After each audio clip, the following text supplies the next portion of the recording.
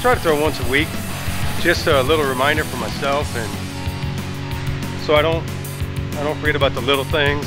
So when I'm teaching, I'm instructing, those little things come to me and I, I can point things out a lot easier and quicker. And plus it's just for my own self-gratification.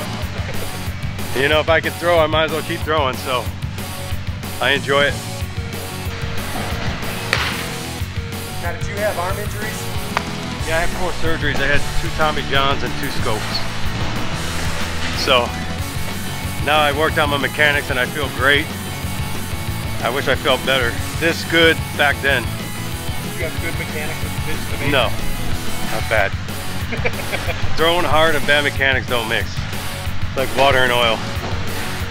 The most thing that the kids are doing that we need to fix is open up the front side.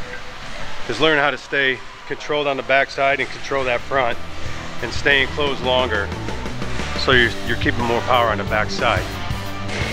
A lot of kids, they just want to open that front side like a gate and they're going to lose their power. So it's what we want to do is stay enclosed longer. A lot of kids are opening up. So opening the gate is opening that front side. Okay. So it's all about staying closed longer. That's a wrap. It went beautiful.